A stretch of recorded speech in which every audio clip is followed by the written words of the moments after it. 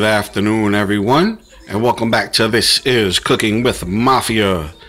Today I will be preparing pulled pork sandwiches and also making some baked macaroni. So let's see what we have on deck here. We have our picnic pork shoulder right there.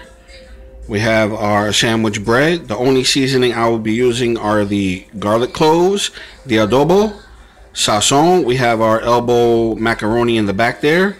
And we have our various cheeses here. Those are sharp cheddar. The gold one is a baby Swiss. And the red is also a baby Swiss. We have our extra sharp cheddar, mozzarella and provolone in our six cheese uh, Italian. There we go. And as always, let's get the cooking, baby, baby.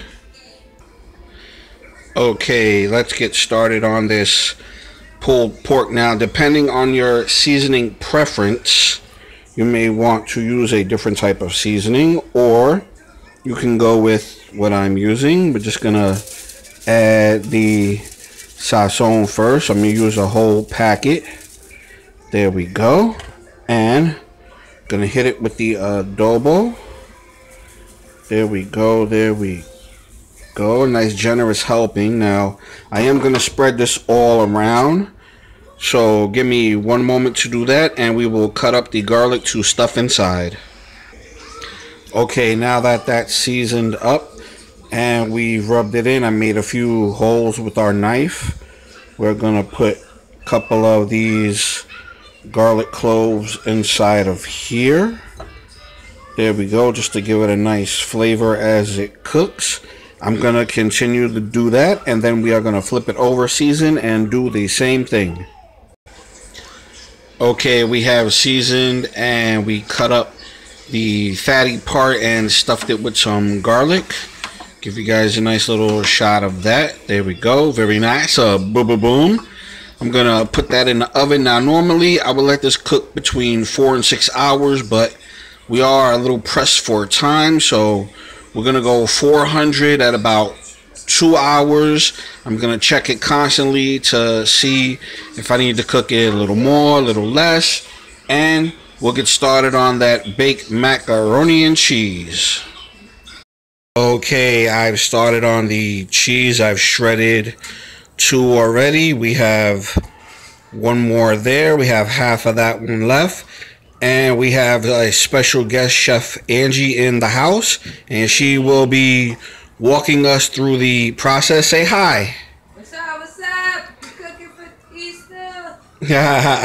All right, so I'm gonna finish chopping this up, and she will be walking us through the rest of the process, like I said. So stay tuned.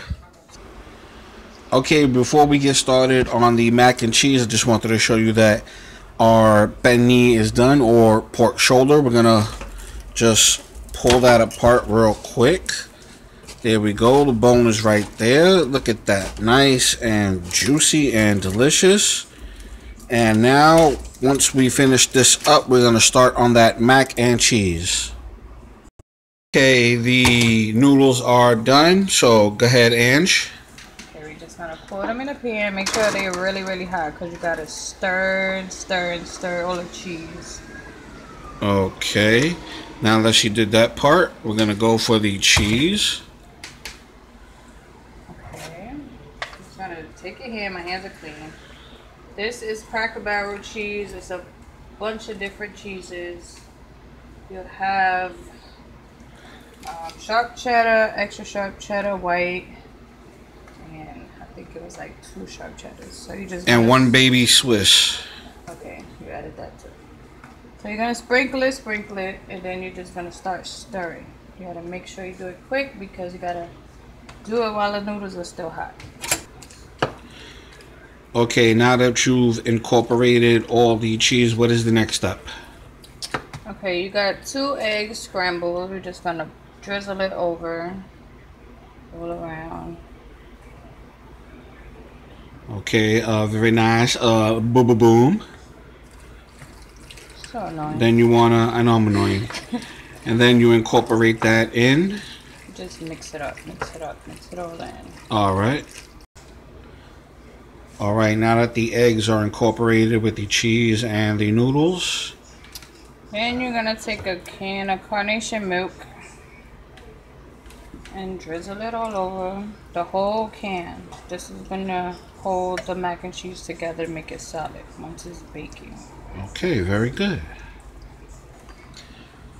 Okay, all the ingredients have been incorporated. She's just layering it up with the rest of the cheese. She's gonna pop that in the oven for about 45 minutes to an hour. Yeah. Okay. You want to cover it with aluminum foil first. Of course, make sure you do that. You cover it with aluminum foil. And let me just give you guys a quick shot of the pulled pork. And yes, ladies and gentlemen, that is collard greens and neck bones she is also making. So we're going to pop that in the oven and I'll see you guys in 45 minutes. Our baked macaroni and cheese is done. Look at that, very nice.